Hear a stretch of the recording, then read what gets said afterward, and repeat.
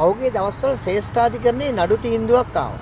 ඒ නඩු තීන්දුවෙන් කිව්වා මහින්ද රාජපක්ෂ ඇතුළු කණ්ඩායමක් මහින්ද රාජපක්ෂ ඇතුළු කණ්ඩායමක් රටේ ආර්ථිකය විනාශ කරලා තියෙනවා. ආර්ථික විනාශයට ඒගොල්ලෝ සම්බන්ධයි කියලා ශ්‍රේෂ්ඨාධිකරණ තීන්දුවක් දුන්නා. ඒ ශ්‍රේෂ්ඨාධිකරණයේ තීන්දුවත් එක්ක ඕගොල්ලෝ දන්නවා පාර්ලිමේන්තුවේ කමිටුවක් දැම්මා මේ ආර්ථික විනාශයන්ට හේතු හොයන්න. රටේ යම් ආර්ථික විනාශයක් තියෙනවා.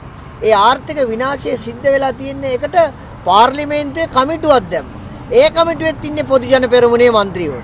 එතකොට ආර්ථික ආර්ථික ඝාතකයෝ ආර්ථිකය විනාශ කරපු මිනිස්සු ආපස්සට ආර්ථිකය විනාශ වෙච්ච හැටිත් හොයන මිනිස්සු මේ මේ රට බංකොලොත් වෙලා මිනිස්සුන්ට එදා වෙලා හරි හම්බ කරගෙන කන්න අවස්ථාවක් නැති වෙලාවේ බදු බරින් මිරිකිලා ඉන්න වෙලාවක ඒගොල්ලෝ ගිහිල්ලා සාද පවත්නවා නම් මහජන මුදල් අවභාවිතා කළා වර්ධව තේරුම් ගන්න එපා සාද ඕන තරම් පවත්ත ගන්න කිසි ප්‍රශ්නයක් නැහැ තමන්ගේ පෞද්ගලික මුදලින් එතකොට නමුත් මහජන මුදල් අවභාවිතා කළ සාද පවත්නවා නම් අන්න ඒක අපිට ගැටලුවක්. ඒක මේ පනතට ප්‍රශ්නයක්.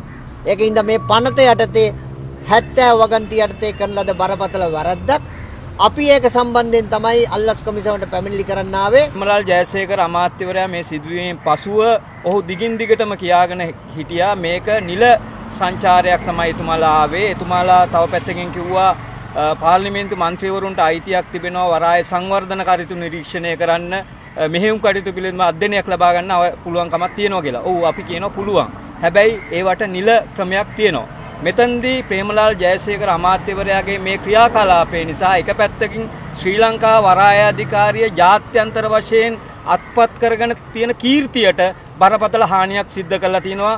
නාවික ශ්‍රේෂ්ඨයට අදාළ ජාත්‍යන්තර නීති සියල්ල උල්ලංඝනය කරලා තිබෙනවා. එතුමාගේ මේ නිල සංචාරයට මේ යාත්‍රා දෙක යොදවා ගැනීම හරහා. ඒ හරහා වරාය අධිකාරිය අපකීර්තියට මේ හරහා ලක්වීමට ඉඩකඩ තිබෙනවා. අනිත් පැත්තෙන් වරාය දීපල හානියට ලක් කරලා තිබෙනවා.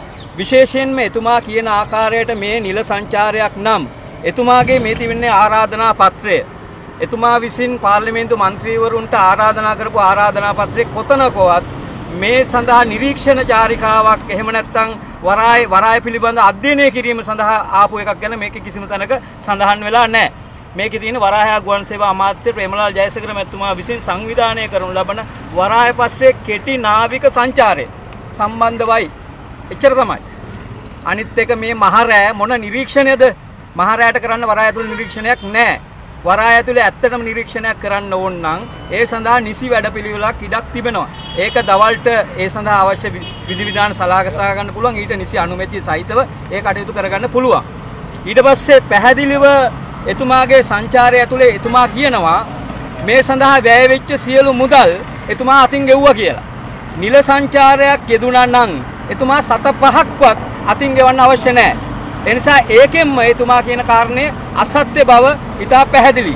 ඒ වගේම එතුමා එතුමා කියන ආකාරයට මේ කෑම බීම අරගෙන තියෙන්නේ සිස්ටා කියන බේකරිය හරහා. නැත්නම් වරාය අධිකාරියෙන් නෙමෙයි. සාමාන්‍යයෙන් වරාය සම්ප්‍රදායක් තියෙනවා නිල සංචාරයක් නම් සිද්ධ වෙන්නේ වරාය ඇතුලේ ඒ නිල සංචාරයට අදාළ සියලු කෑම බීම ඇතුළු සියල්ල ශ්‍රී ලංකා වරාය අධිකාරිය කරනවා. නිසා පෞද්ගලිකව කවුරුත් කරන්නේ නැහැ. ඊට අනුමැතිය ලැබිලා නැහැ. ඊට අදාළ ලිපි ලේඛන මේ මේ වාර්තාවට අපි අද ඉදිරිපත් කරා.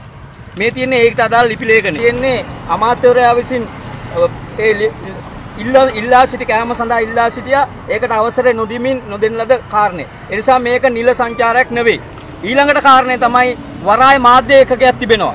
සෑම නිල සංචාරයක්ම මේ මාධ්‍යකරණය ආවරණය කරනවා. හැබැයි මේකට මාධ්‍යකරණ ඒකකේ කැඳෙව්වේ නැහැ. එනිසා පැහැදිලිව මේක නිල සංචාරයක් නොවන බව ඉතාම පැහැදිලි. මේක පෞද්ගලික සංචාරයක්. එනිසා මේකට මේ පස්සේ විකික කතා කියලා වැඩක් නැහැ. මේක පැහැදිලිව එයාලගේ පෞද්ගලික සංචාරයක්. තමයි මේ තියෙන අලුත් අවුරුද්දේ පාටියක් ලබා දීම සඳහා කරපු වැඩක්. ඒක පැත්තක්. අනිත් පැත්තෙන් මේ මේ මේ යාත්‍රා දෙක කිසිසේත්ම පෞද්ගලික කටයුත්ත සඳහා යොදවා ගැනීම කිසිදු නෛතික ඉඩක් වරාය අධිකාරී නීති රීති අනුව නැහැ. මේ යාත්‍රා තියෙන්නේ වැලි හැරීම මඩ පිරෙන ලද වැලි ඉවත් කිරීම සහ මඩ ඉවත් කිරීම සඳහා තමයි මේ යාත්‍රා දෙක භාවිතා කරන්නේ. ඉන් ඔබට වූ කටයුත්ත මේ යාත්‍රාවලින් යොදා ගන්න ඒ අනුවත් මේක නීති විරෝධී කටයුත්තක්. අනිත් පැත්තෙන් මේ යාත්‍රා දෙක දා- දියත් කිරීමට අදාළව නාවික නීති රීති සියල්ල උල්ලංඝනය කරලා තිබෙනවා.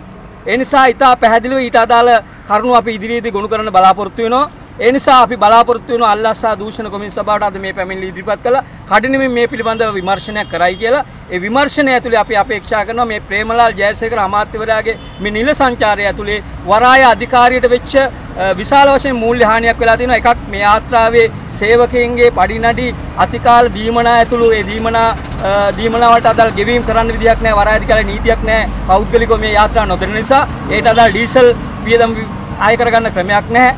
අනිත් පැත්තෙන් ගත්තට පස්සේ මේ යාත්‍රාව එදින සේවය යොදවලා නැහැ මේ සංචාරය නිසා. ඒ නිසා වරායට පාඩුවක් සිද්ධ වෙලා තිනවා අනිත් පැත්තෙන් ආරක්ෂක අංශය මේ යොදවලා තිනවා මේ සංචාරය සඳහා ඒ ඒ හරහා යොදවලා තිනවා වරාය අධිකාරිය උපකරණ අනන් තිනවා ඒ හරහා වරාය අධිකාරියට පාඩුවක් කළා තිනවා මේ සියල්ල ගණනය කර හැකි වන්නේ පරීක්ෂණ අවසානයේ අපි හිතනවා මේ සියල්ල එකතු ගත්ත පස්සේ කෝටි ගණනක පාඩුවක් වරායට සිද්ධ වෙලා තිනවා ඒ නිසා කඩන මේ පිළිබඳ පරීක්ෂණ කළා වහාම විමර්ශනයක් කරන්න කියන ඉල්ලීම තමයි අපේ ගරු අධ්‍යක්ෂ ජනරල්තුමාගෙන් අද ඉල්ලා සිටින්නේ